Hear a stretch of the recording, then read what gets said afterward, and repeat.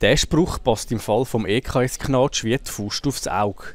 Die Geschäftsprüfungskommission hat bei ihrer heutigen Stellungnahme den Regierungsrat für sein Vorgehen stark kritisiert. Einerseits ist, dass die GPK aus unserer Sicht äh, nicht vorgängig informiert worden ist, auch nicht beizogen worden ist.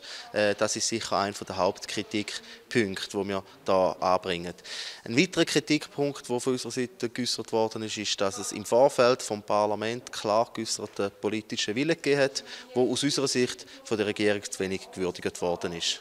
Der Regierungspräsident Christian Amsler nimmt Vorwürfe der GPK zur Kenntnis lässt aber verlauten, dass in ihrem Bericht ein paar Feststellungen nicht ganz korrekt sind. Es ist natürlich nach der Gesetzgebung überhaupt nicht so, dass ein Kantonsrat die Oberaufsicht hat, die operativen Regierungsgeschäfte, dass man also vorab schon mal konsultieren und so weiter. Die Zuständigkeit ist ja da übrigens auch unbestritten. Die ist nach dem Elektrizitätsgesetz und auch nach dem Finanzhaushaltsgesetz klar bei der Regierung.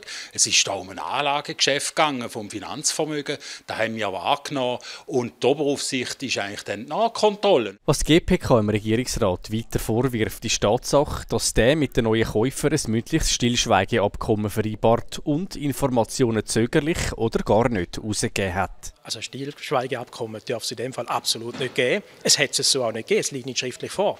Also ich kann mündlich alles erzählen, wir können es ja nicht nachweisen, wir haben es verlangt.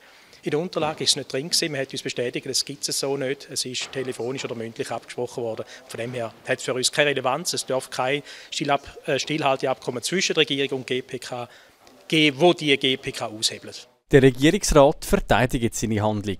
Bei sensitiven Geschäften sei auch Vorsicht geboten und darum ein entsprechendes Abkommen vereinbart worden. Es ist in der Tat so, dass es ein mündliches Stillhalteabkommen gegeben hat. Man hat sich über den Kaufpreis natürlich nicht äh, nach außen äußern Das haben wir beherzigt und äh, von dem her ist jetzt natürlich ein bisschen eine unterschiedliche Auffassung, hätte man die GPK informieren oder nicht. Die GPK fordert vom Regierungsrat jetzt, dass er in Zukunft seine Handlungsweise bei ähnlichen Fällen überdenkt. Der Regierungsrat wiederum wünscht sich mehr gegenseitigen Respekt, wenn es um Kompetenzverteilung geht. Dann ich auch wieder eine sachliche Diskussionsstruktur geben.